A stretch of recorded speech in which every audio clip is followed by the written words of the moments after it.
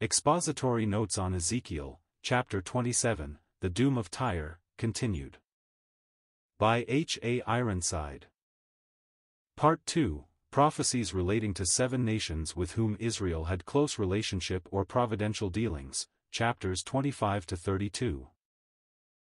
With great detail the prophet continues to describe the doom which was to come upon Tyre because of the people's attitude of self-satisfaction and independence of God, which led them into all kinds of iniquity.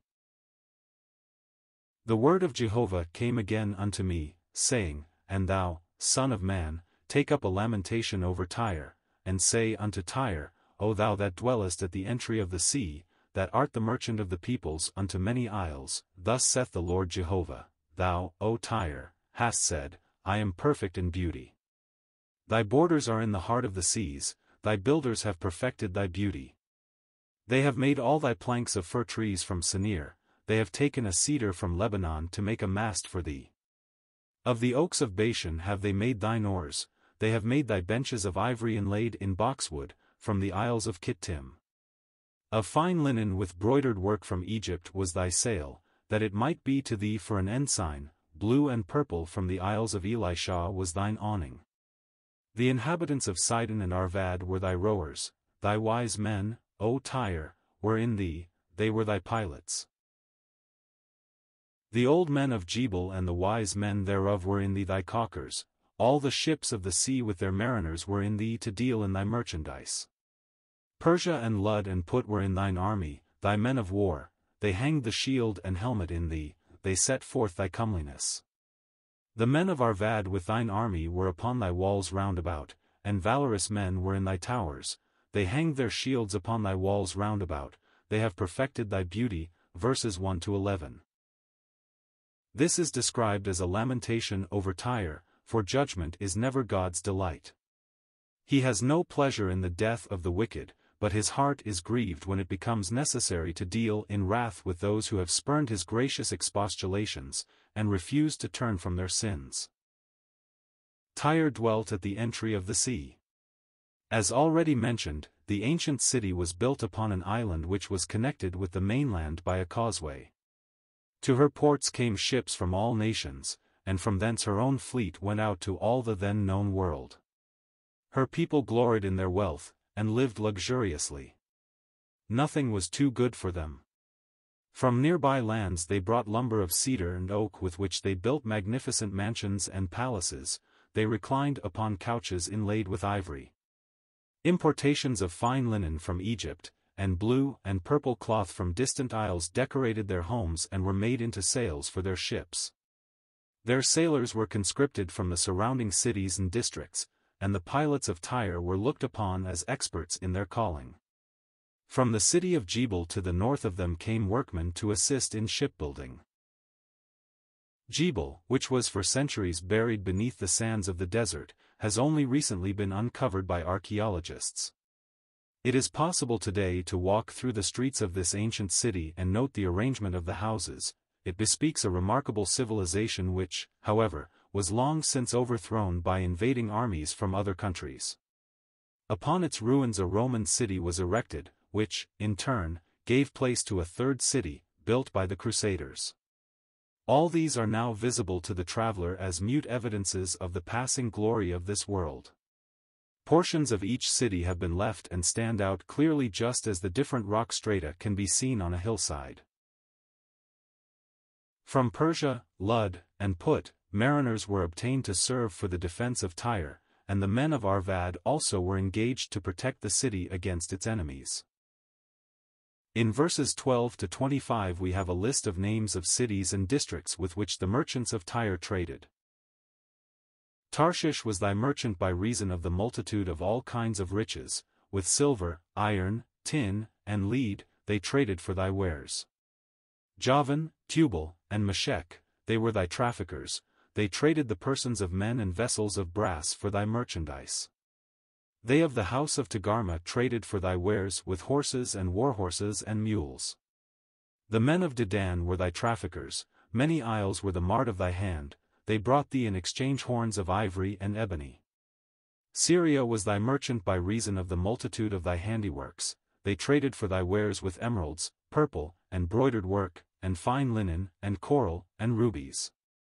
Judah, and the land of Israel, they were thy traffickers, they traded for thy merchandise wheat of Minnith, and pannag, and honey, and oil, and balm. Damascus was thy merchant for the multitude of thy handiworks, by reason of the multitude of all kinds of riches, with the wine of Helbon, and white wool.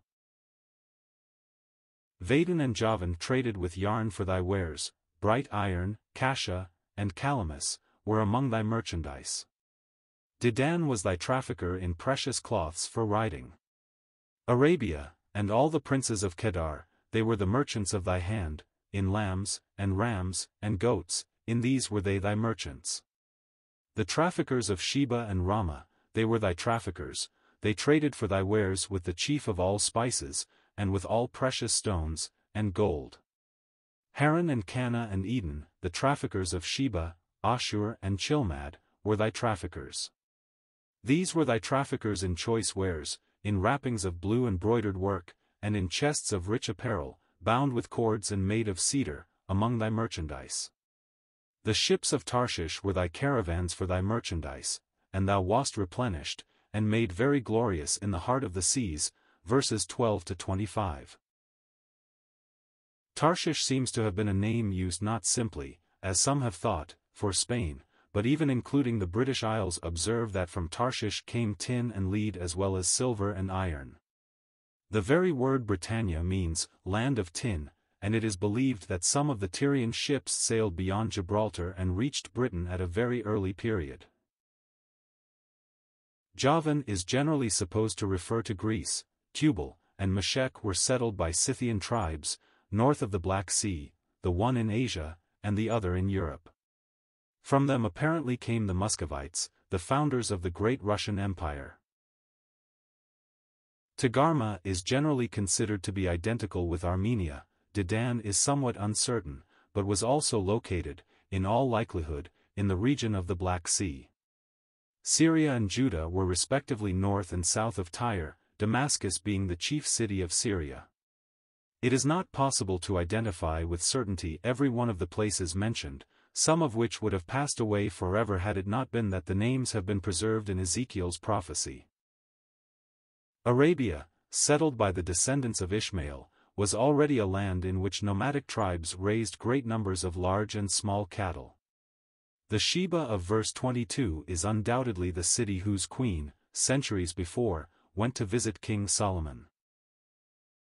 It is evident from verse 23 that the name Eden was applied to a part of Mesopotamia, and may indeed have been the very district in which the ancient Eden was located. All these various places poured their riches into the markets of Tyre and obtained, in return from them, other goods which they needed in their respective localities. It must have seemed to the haughty, independent merchant princes of this great city, that there was little likelihood of their great commercial system ever being destroyed, but just as in a future day Babylon the Great is to go down in a moment, so Tyre's judgment was to fall with terrible and sudden force upon the godless city which had dared to defy the Eternal One. Thy rowers have brought thee into great waters, the east wind hath broken thee in the heart of the seas. Thy riches, and thy wares, thy merchandise, thy mariners, and thy pilots, thy caulkers, and the dealers in thy merchandise, and all thy men of war, that are in thee, with all thy company which is in the midst of thee, shall fall into the heart of the seas in the day of thy ruin. At the sound of the cry of thy pilots the suburbs shall shake. And all that handle the oar, the mariners, and all the pilots of the sea, shall come down from their ships, they shall stand upon the land, and shall cause their voice to be heard over thee, and shall cry bitterly, and shall cast up dust upon their heads, they shall wallow themselves in the ashes, and they shall make themselves bald for thee, and gird them with sackcloth, and they shall weep for thee in bitterness of soul with bitter mourning. And in their wailing they shall take up a lamentation for thee, and lament over thee, saying, Who is there like Tyre, like her that is brought to silence in the midst of the sea? When thy wares went forth out of the seas, thou filledst many peoples, thou didst enrich the kings of the earth with the multitude of thy riches and of thy merchandise. In the time that thou wast broken by the seas in the depths of the waters, thy merchandise and all thy company did fall in the midst of thee. All the inhabitants of the isles are astonished at thee, and their kings are horribly afraid, they are troubled in their countenance. The merchandise among the peoples hiss at thee, thou art become a terror, and thou shalt never more have any being. Verses 26 to 36. Her rowers, that is, her statesmen, had brought her into great waters, and the east wind of adversity was to break her in the heart of the seas. All her wealth would then avail her nothing, her palaces, her warehouses, her great mansions, would all go down together and fall into the heart of the sea in the day of her ruin. The ship's officers, pilots, and mariners, beholding from afar the burning of the city, would bewail its utter destruction, exclaiming, Who is there like Tyre, like her that is brought to silence in the midst of the sea? Realizing that their opportunities for enrichment were now gone forever, they would lament with a bitter cry the overthrow of the great Phoenician metropolis which God himself declared should never more have any being. The island city of Tyre, when once destroyed, was never to rise again.